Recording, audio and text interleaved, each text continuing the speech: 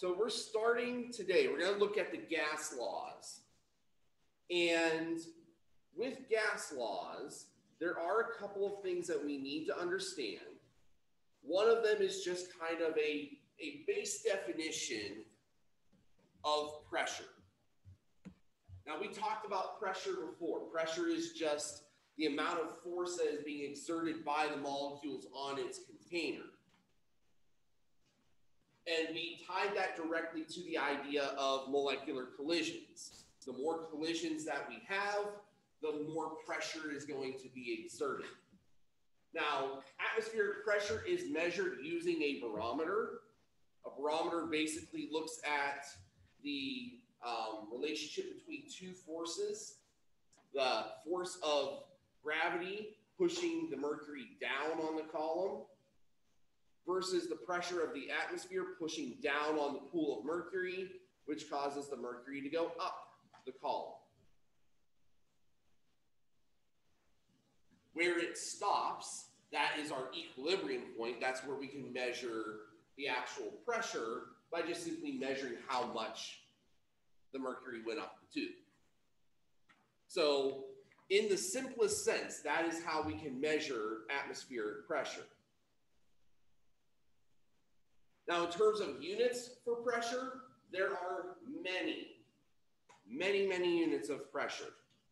But I'll tell you the ones that we focus on the most often. Most often, we focus on the atmosphere of pressure. We focus on the millimeter of mercury, which is the same thing as the torr. And occasionally, occasionally, we'll talk about things in terms of bars, but not very often. For those of you that are physics and engineering, um, you'll hear a lot about pascals, pascals and kilopascals. The reason for that is those are the um, those are the metric units, and those units are what are woven into um, your uh, force units like uh, newtons and uh, joules uh, for energy. So that's where they tend to kind of put their stock. The reason we don't focus on them so much is because a pascal of pressure is very, very small.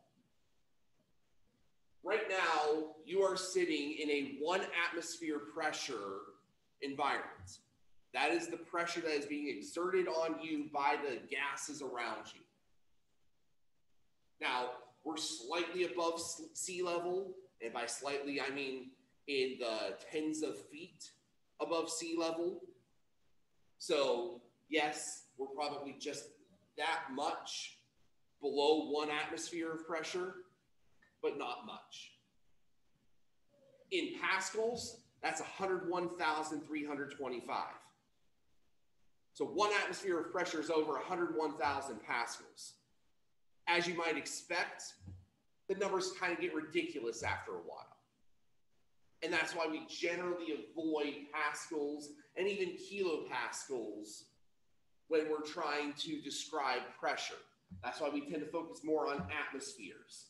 Or if we don't have atmospheres available, we'll focus on the measurement units, the things that we can measure with a barometer, measure with a manometer, because it's literally putting a ruler up in something and measuring it instead of relying on sensors and other kinds of electronic devices.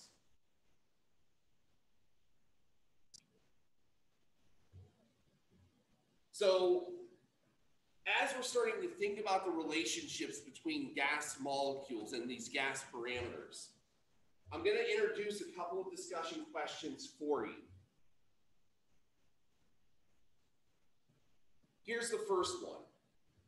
If we have a fixed amount of gas at a constant temperature, what would the relationship between the pressure of that gas and its volume be?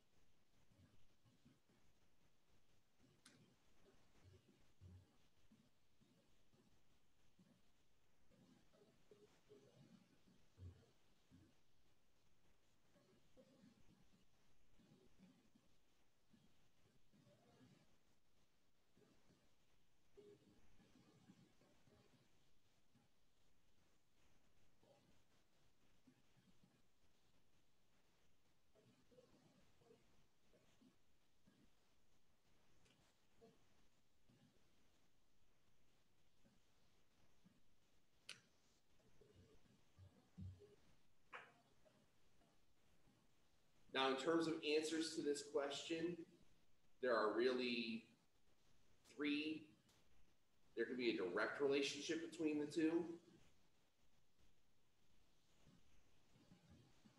If one goes up, the other one goes up as well. There can be an inverse relationship. One goes up, the other one goes down. Or there can be no relationship.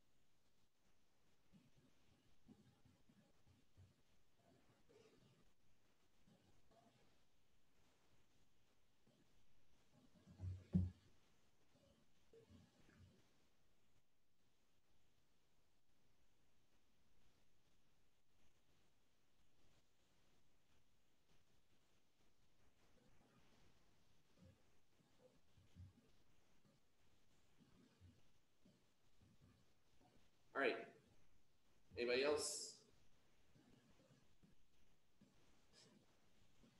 All right. The relationship here is inverse.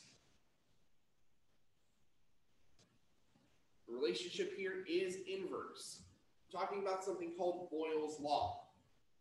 Boyle's Law states that the volume of a gas is inversely related to its pressure.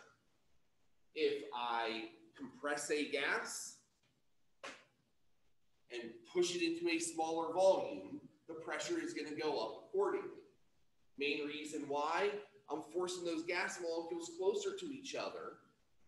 And so they're going to hit each other more. More collisions means more pressure. Now, there is a relationship here. When we see inverse relationships, we should note that those inverse relationships are always going to be denoted mathematically as that. That alpha symbol there, the fish looking symbol, that indicates the relationship. So there is a relationship between pressure and 1 over the volume, the inverse of the volume. Mathematically speaking, in equation form, it looks like this. The pressure times the volume at one set of conditions is equal to the pressure times the volume at a second set of conditions. That's Boyle's law. Let's take a look at an example mathematically. We have a balloon that is inflated with five liters of helium, where the atmospheric pressure is one atmosphere. It goes to an altitude of 1,600 meters, just a bit short of a, a mile and the pressure there is 8.83 atmospheres. What is the volume at the higher altitude if the temperature does not change? So we're talking about constant temperature.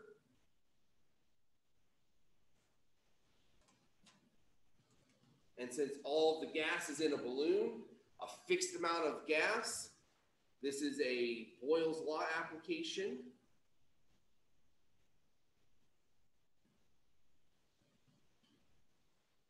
My initial pressure was one atmosphere. My initial volume was five liters. My second pressure is 0.83 atmospheres, and I'm trying to find its new volume. Algebraically, I need to get V2 by itself, so I'm going to divide both sides by 0.83 atmospheres. That will cancel out the 0.83. We cancel out the atmospheres.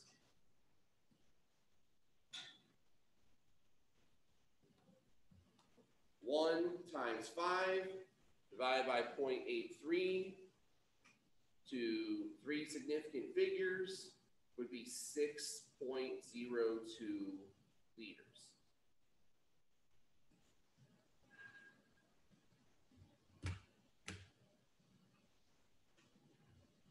With these kinds of problems where we have relatively simple relationships between the two, you can always ask yourself the logical question Does this answer make sense? Does it fit with the qualitative observation that we know? Meaning, we see that the pressure has gone down.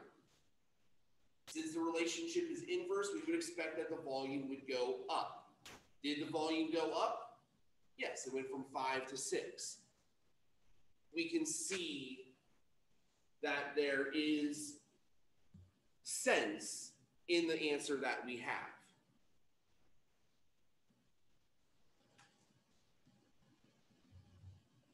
All right, any questions with this particular example?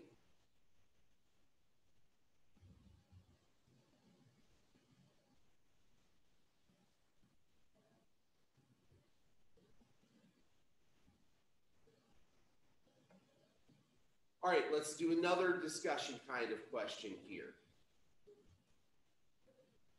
This time we are holding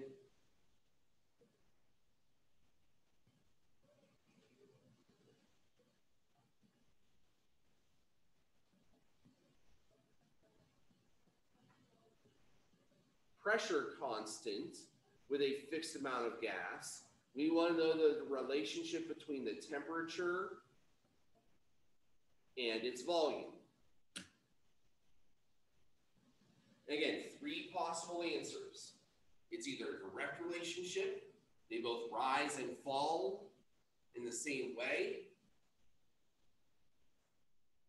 It's an inverse relationship where they flip over, or they're not related at all.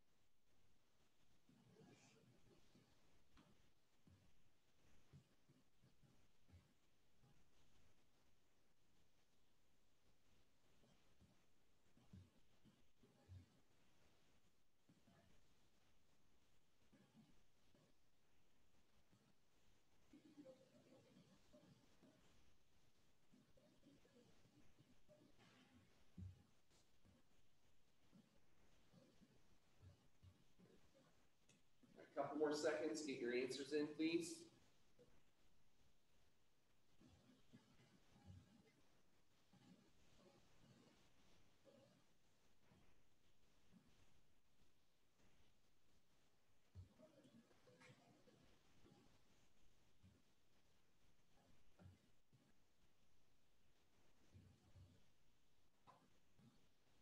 All right, most of you chimed in with the correct answer. The correct answer is that it is a direct relationship.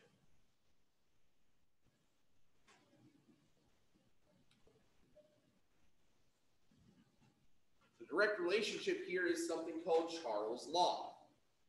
Charles' Law tells us that if we have a constant pressure and a fixed amount of gas, we will see a direct relationship between the temperature, the absolute temperature in Kelvin, and the volume of the gas. Easy way to look at this is with an experiment like this one. You can actually replicate this kind of an experiment at home with a balloon.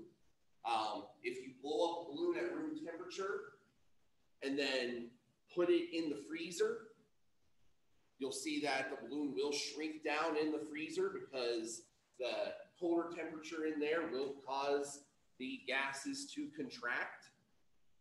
And then if you take that same balloon and put it over a pot of boiling water, it'll expand and actually get bigger. Look at the differences in the way that it's expressed. Notice that since it is a direct relationship, there is no one over component in that proportionality. And look at how the relationship is in the equation. With the indirect relationship, we multiply the factors. In the direct relationship, we divide them.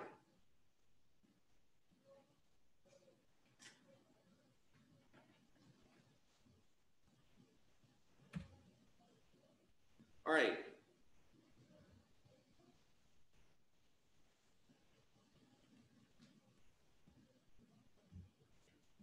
Different relationship to look at here.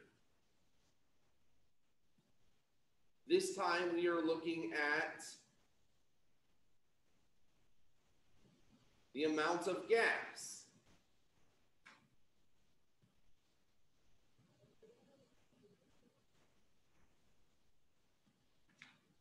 So our fixed values here are pressure and temperature.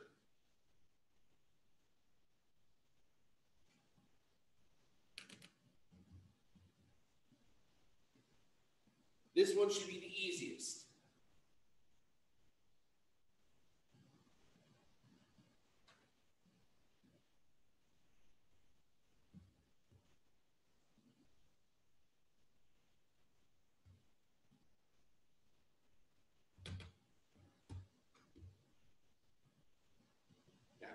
We're all on the right track. We've all blown up a balloon before. You blow up a balloon, you're putting air into the balloon, you're adding gas to it, and the balloon expands. This one's pretty, this one's pretty straightforward. Now, the relationship here is tied to a man called Amedeo Avogadro. You may have heard of him. He's the one that has the number that you guys like so much. But the relationship is gas volume and, and uh, amount of gas are directly related, directly proportional. Since they are directly proportional, we can put the two variables over each other, just like we did the volume and the temperature. Now, there is an important ramification to this Avogadro law. And it is this. If I have equal volumes of gas at the same temperature and pressure, they will have the same amount of moles. Or inversely, if I have equal moles at the same temperature and pressure, they'll take up the same volume. Either way you want to look at it.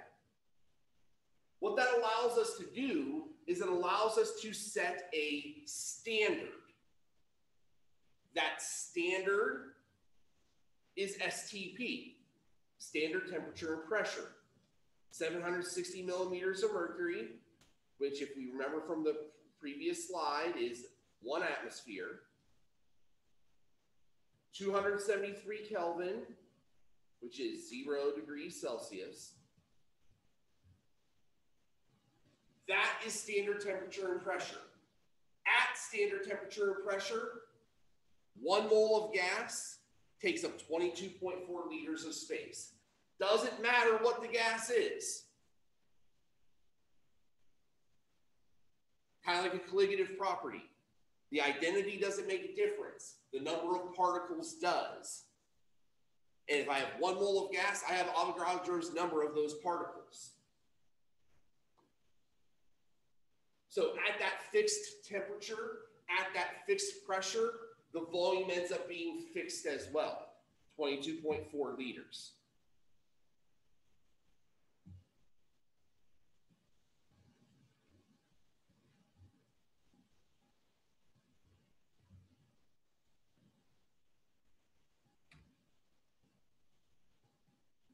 So the question you might have been asking yourself is my goodness, there are so many equations here. Do I have to memorize all of these relationships and their interactions with each other? And the answer to that question is no. It's not important to me that you know Boyle's law equates pressure and volume and its relationship to each other. It's not important to me that you know that Avogadro's law links together volume and the amount of gas. What is important is that you understand the relationships broadly and that you understand that we can change any of those parameters at any given time. So what's really important is what we call the combined gas law. The combined gas law takes those concepts and puts them together. And so we can see, using a little bit of highlighting here, we can see Boyle's law inside of the combined gas law. We can see Charles' law inside of the combined gas law. We can see Avogadro's law inside of the combined gas law. They're all there. And since they're all equal to a constant, we could write the combined gas law in this more familiar form using the ones and twos to indicate different sets of conditions.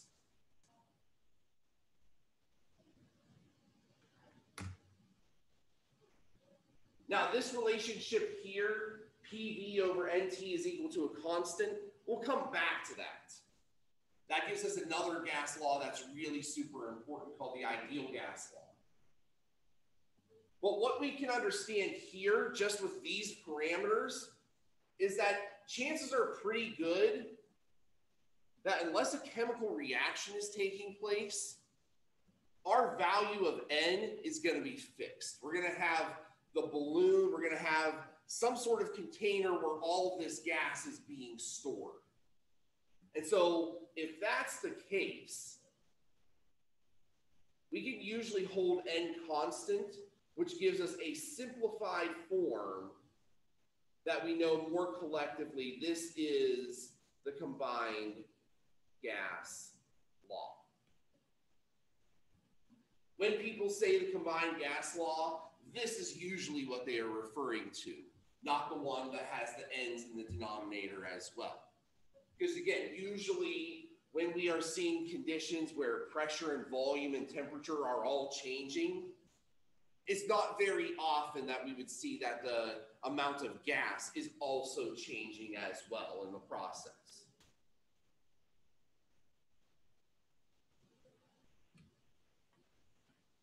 So let's take a look at an example. We've got a weather balloon. The weather balloon is released with a pressure of 798 millimeters of mercury inside. At that moment, the volume and the temperature are 131 liters and 20 degrees Celsius. What we want to know is what is the volume of the balloon when it gets to a certain altitude where the pressure is now 235 millimeters of mercury and the temperature is now 50, negative 52 Celsius. Well, the combined gas law is what we're going to use. P1 V1 over T1 is equal to P2 V2 over T2.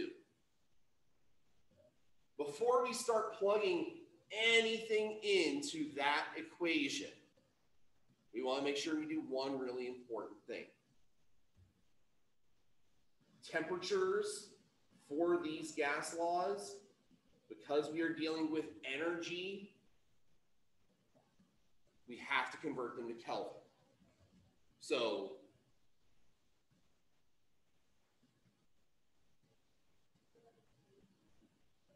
that means that the 20 degrees Celsius plus 273 is going to be 293 Kelvin.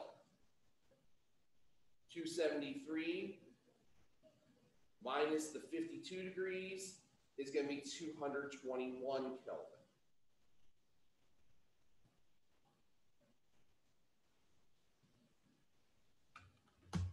That's an important step. If we forget to do that step, in this particular case especially, we're going to end up getting a negative volume. And you're going to be sitting there going, how on earth did we get a negative volume? What does a negative volume even look like? It's a really common mistake. Or even worse yet, you have one where you have zero degrees as one of the conditions, and you end up having to try to figure out how to divide by zero. Even more fun. So don't forget about this Kelvin piece. So now that we have that, we've got 798 millimeters of mercury. Volume initially is 131 liters. Initial temperature, 293 Kelvin.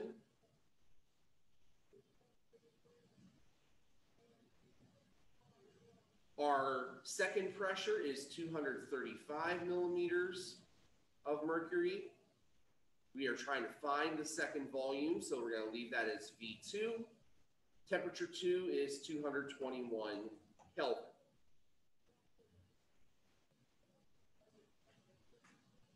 To get V2 by itself, we're going to need to multiply each side by 221 Kelvin over 235 millimeters of mercury. That will get the kelvins to cancel and the millimeters of mercury to cancel.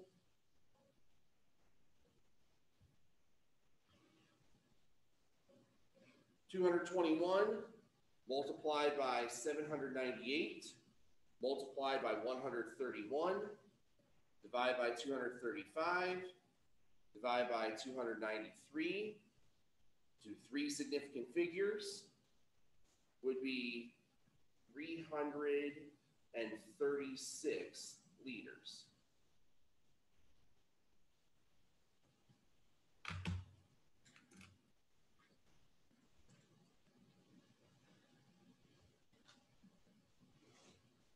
Now, with gas law problems, like I said before, you have to ask yourself, does the value make sense?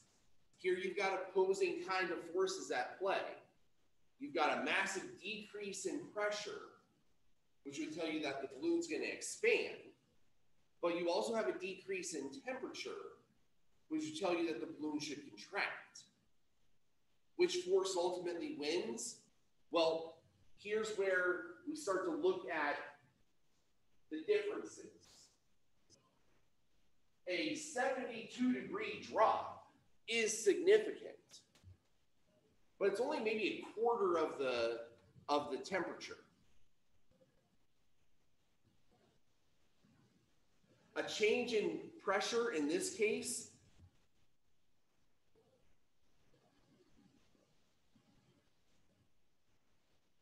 represents a 70% change in pressure.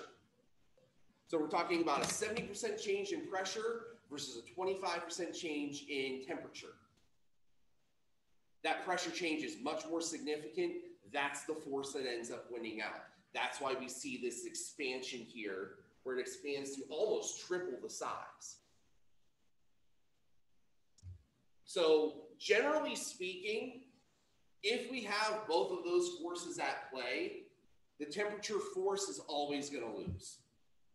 Because since we're on the Kelvin scale, the Kelvin scale is going to be a lot less noticeable in terms of the changes. Whereas the pressure scale or the volume scale is going to be a lot more significant most of the time.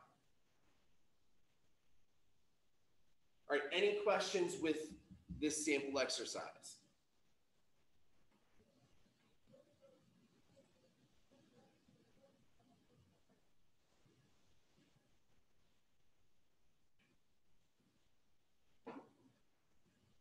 All right, so let's move on to the ideal gas law then. With the ideal gas law,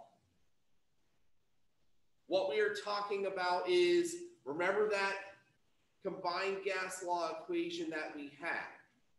PV over NT is equal to a constant. Well, in the ideal gas law, what we have is a name for that constant. That constant's name is R. It is the universal gas constant. The universal gas constant carries a value of 0.08206 liter atmospheres per mole Kelvin. And so if we have pressure in atmospheres, volume in liters, moles of the gas, and Kelvin temperature, we can use this equation to figure things out. Now, this equation kind of presumes that we would only ever use atmospheres as our unit of pressure. As you know, that's not true. So while R can certainly equal this value, I'm going to put its unit here in fractional form.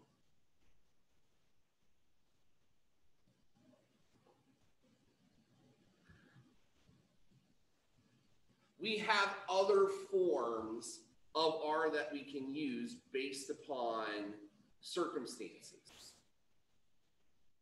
The most common of those other circumstances would be for millimeters of mercury instead of atmospheres,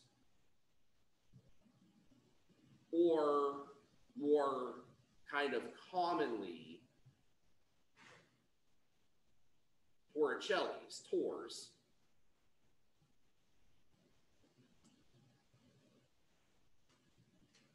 Instead. Now, there are other ones as well. If, if we want to get into kilopascals, um, you know, there's a value for that as well. There's a value for R that is associated more with energy kinds of con- of of calculations. If you go on to take Chem 106, you'll see that one a lot um, because we talk a lot about energy in that class. But primarily for our purposes, it's one of these three. And notice that it's really just one of these two because 62.36 is the same for both millimeters of mercury and torr, and that's because they are the same unit. They're the same unit. The millimeter of mercury is sometimes referred to as torr as an homage to Evangelista Torricelli, who invented the barometer that measured the millimeters of mercury in the first place.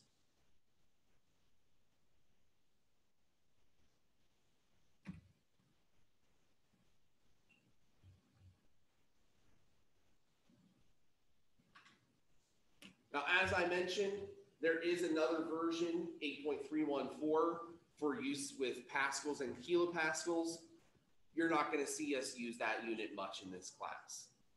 Again, for those of you that take Chem 106, kind of keep that one in the back of your head. When we do energy calculations involving joules, that's where you're going to find that 8.314 used more often. But for right now, not really our thing.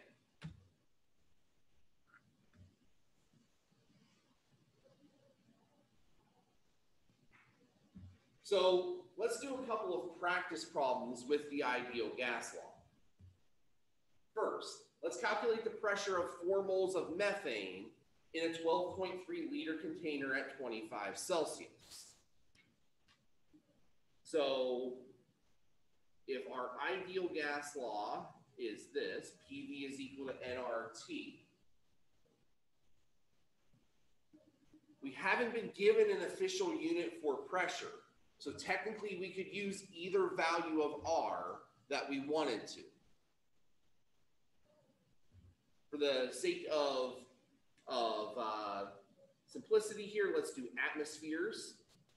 So pressure is e- uh, multiplied by 12.3 liters is equal to 4.0 moles times 0.08206 liter atmospheres per mole Kelvin times the temperature, 25 Celsius. Remember, we have to add 273 to that. So that would give us 298 Kelvin.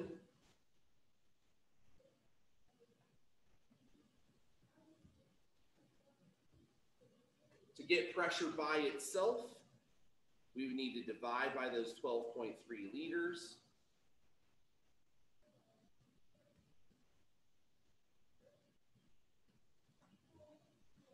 Now we can see why that universal gas constant has that funky combination of units that it does, because it's going to cancel out everything.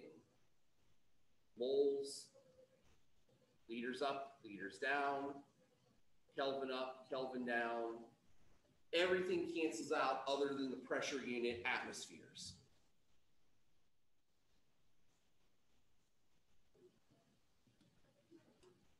Four times 0.08206 times 298 divided by 12.3 to two significant figures because we only had two in the number of moles it would be 8.0 atmospheres.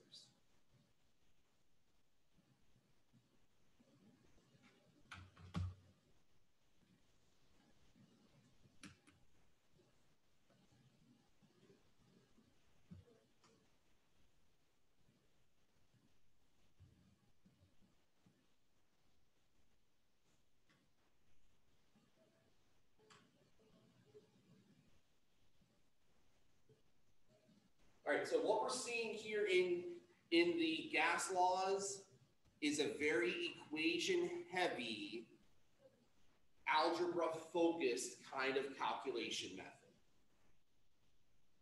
Because almost everything is tied together with equations of some kind. All we need is proper algebra skills to figure out what's missing. But we can go beyond that. Our last example today, we'll do using the ideal gas law to figure out a molar mass.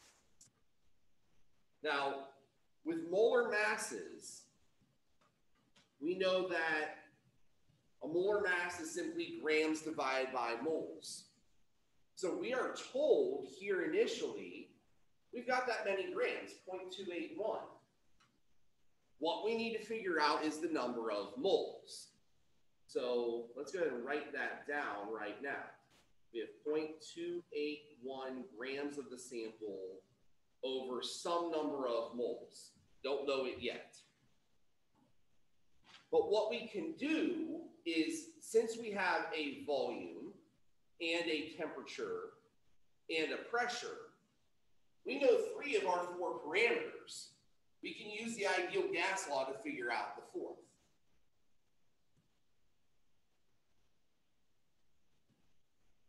PV is equal to nRT.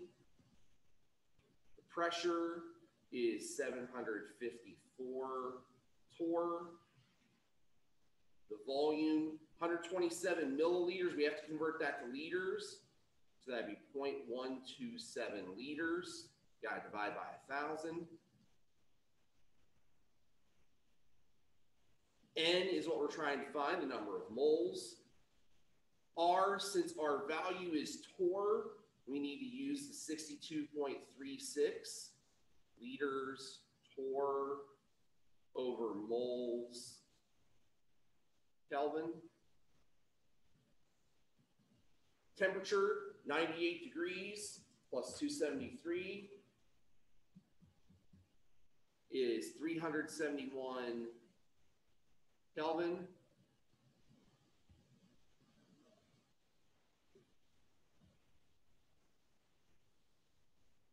To get moles by itself, we're going to have to divide both sides by the sixty-two point three six liter per per mole Kelvin and three hundred seventy-one Kelvin.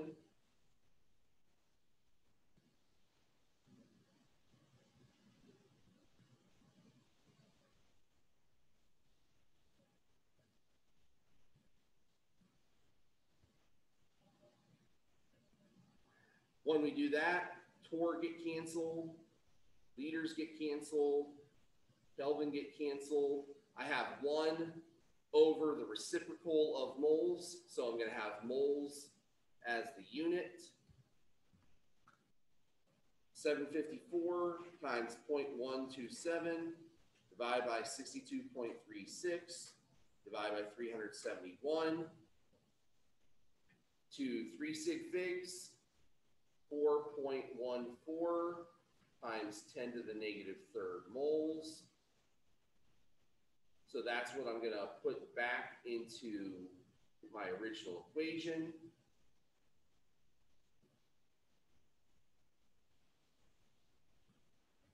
Which means my molar mass